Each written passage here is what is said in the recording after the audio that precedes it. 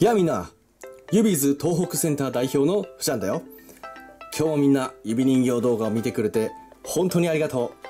今日も100回くらい見てくれると嬉しいですね。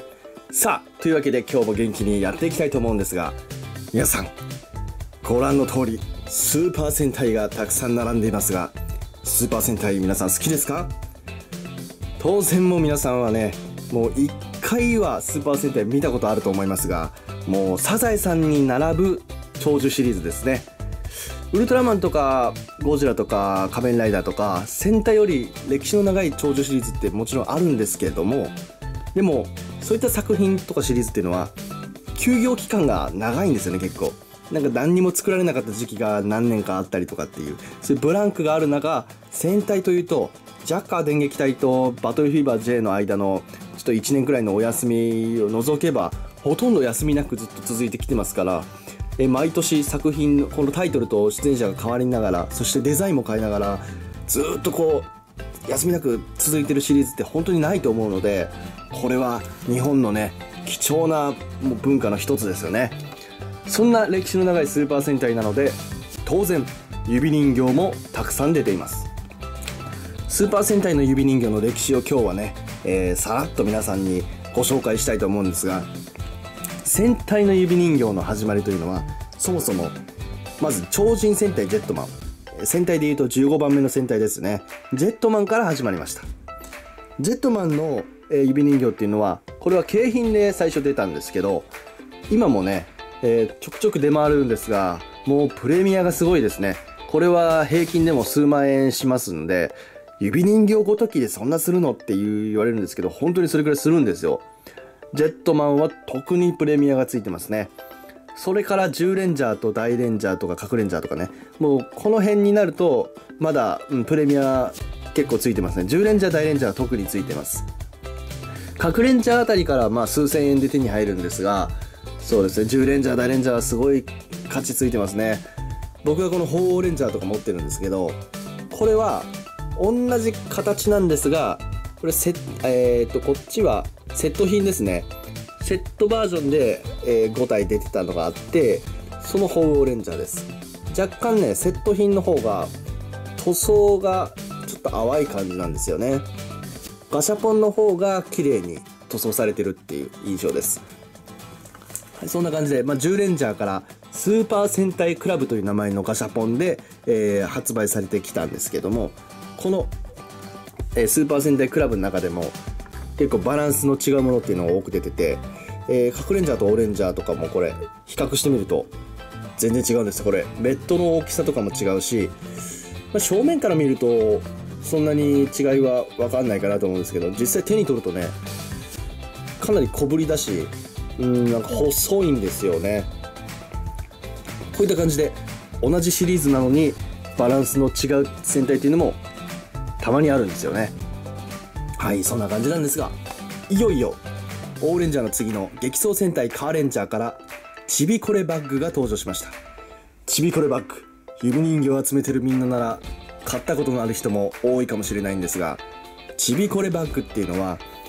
だいたい平均5体ほとんど5体なんですけどたまに6体セットのものもありますね、えー、それから3体とか4体のものもあるんですけどえー、2体のものもありますね。なんやねん、もういろいろあってって感じなんですけど、仙台の場合はまあ当然5人が、えー、初期メンバーなんで5体のものがほとんどなんですが、えー、こういった5体セットとかで箱入りになって、え、セット販売されてるものがちびこれバッグっていうシリーズなんですよね。え、細かく言うとちびこれバッグだったりとか、え、それからまたデフォルメクラブっていうのも別にあったりとかしてまあ、そんな感じでいろいろセット売りされてる指人形って多かったんですよ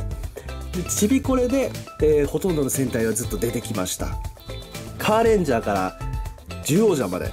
えー、ずっと出てて獣王者あたりになるともうちびこれっていう名称じゃなくてちょっとまた別の、えー、形式でのセット販売だったんですけど、まあ、そういった形でセット販売っていう流れがずっと続いてましてでもその残念ながら獣王者で指人形の戦隊の歴史は一旦幕を閉じたんですね。それ以降の戦隊っていうのは今残念ながら救い人形でしか販売されてません。こちらの一番後ろに並んでるキューレンジャーたちもこれも救い人形です。はいこんな感じで穴が開いてません。本当は指人形で欲しかったんですけどもうこれしか出てないから残念ですよね。もうこれを買うしかないですよね。そんなわけで救い人形しか今現在出ておりません、えー、この前に並んでるパトレンジャーたちもそうです、えー、今放送されてる竜ソージャーももう出てるんですけどそれも当然救い人形で出ております。はいそんなわけなんですが、えー、ガシャポンから始まり、えー、途中からセット販売も始まりっていう感じで、えー、ガシャポンとちびこれと両方出てたっていう戦隊も中にはちらほらあったんですけど他にも食玩で出た戦隊の指人形もありまして、えー、戦隊ヒーローキッズとかね、えー、それからメガレンキッズとか激レンジャーキッズとかねいろいろそういったキッズシリーズとかでも出てたものがちらほらありましてそれもまあ大きさが違ったりとかねいろいろちょっと違ったりする部分もあったんですけど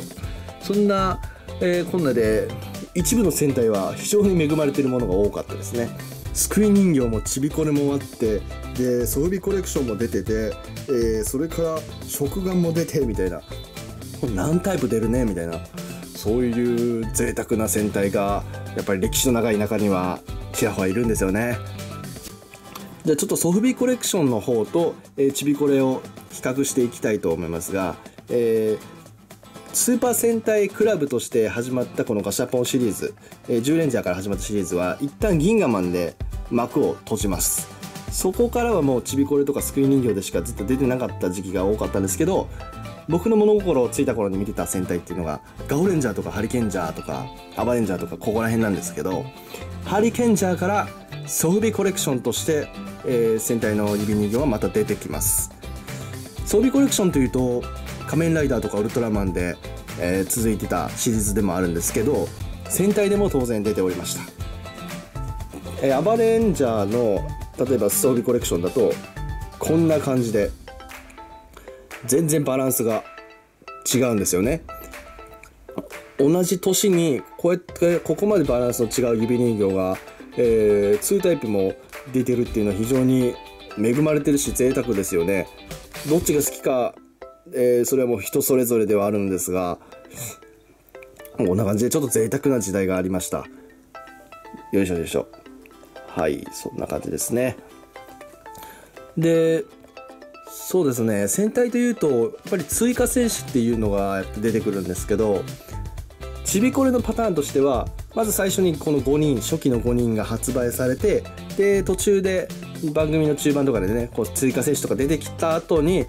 パート2として追加戦士を入れたちびこれが出るっていうパターンが多かったんですけど例えばこの冒険シルバーとか、えー、それから暴れキラーとかここら辺もそうですね。これも途中であのパート2とかっていう形で、えー、追加選手を含めたセットとして販売されてでそれを買えばやっとメンバーが全員揃うぜってそういったワクワク感がありました。でも中には追加戦士が出なかったシリーズのちびこれもあったりします。このガオレンジャーなんていうのもそうでガオレンジャーというとやっぱりガオシルバーがいるんですがガオシルバーは結局出なかったんですよね。ガオレンジャーパート2とかちびこれ出てたのにガオシルバーが残念ながら入ってなかったというそういった悲しい戦隊も中にはいます。でそうですね。いろいろ追加戦士とか比較的出てたんですけれどもゴーンジャーもまだねゴーンゴールドとシルバーとかちゃんとちびこれのパート2で出てたんですが真剣ジャーからはもう完全に追加戦士出なくなりましたね。でもうどうやって手に入れるかっていうと救い人形しかないんですよ。救い人形で追加戦士を手に入れて、えー、並べてあげるっていうことしかもうできないんですよ。これがね一手間二手間かかるんだよな。例えば五星ナイトもこれ非常に五星ジャーの中でも人気高いキャラクターですけど救い人形しか出てないんですよこれ。ちょっと残念だよね。だからこれを手に入れてまあ、救い人形のご聖者と並べてあげるのもいいけど、まあ、ちびこれのご聖者とかと並べてあげてこれでようやく全員揃うっていう。なかなか世話の焼けるシリーズなんですよね。せっかくなんであせっかくなんでゴセイジャーのレッドのゴセレッドのね、えー、ちびこれとスクイ人形の比較なんていうのもしてみましょう。こうやって見てもらえば分かるんですがスクイ人形もこっち左がスクイ人形なんですけど非常にいい出来をしていますよね。どっちもそんなに大きな差はないと思いきやこのベルトの部分とかねえー、ほらほら背面もスクイ人形の方が気合入ってるんだよね。塗装が。あもう横顔とかもそうだけどこの白い縁が塗られてなかったりとかいろいろそういった面でスクイ人形の方がゴージャスだったりあするかと思いきやこの手のとこのこの黒い縁とか足の縁とか塗られてなかったりとかなんかどっちも一長一短あるんですがポーズもね非常に似てるけどどっちが好きかっていうのはこれもまた人それぞれで、えー、こうやっていろいろ選択肢がいっぱいあるっていうのがちょっと贅沢で面白いですよね。そんな感じでいろいろ戦隊っていうのは非常に集めるのがねちょっと大変なシリーズではあるんですよ。もし何かわからないことあればぜひコメント欄で僕に聞いていただければ、えー、分かることはもうどんどんね知識を皆様にこう共有していきたいと思っておりますが僕もねやっぱりまだまだ勉強中ですので、えー、これからもぼちぼちとね戦隊とかも集めていきたいと思います。戦隊といえばやっぱりロボット。ロボットも戦隊にはもう欠かせない存在ですけどロボも一部手に入るシリーズの戦隊があります。これまあねちびこれで入っていたりとかそういうコレクションで入っていたりとかいろいろ手に入れる方法っていうのはバラバラではあるんですがこんな感じで。でまたロボットにもねいろいろタイプありましてこんな感じで暴れん王だったり、えーまあ、他のキャラもそうなんですけどねこうやって何タイプか出てるロボットもいるんです。そういった意味で戦隊っていうのも非常に奥が深いシリーズなんですね。はいというわけで皆さんもぜひぜひもうジェットマンから現在の竜奏者までね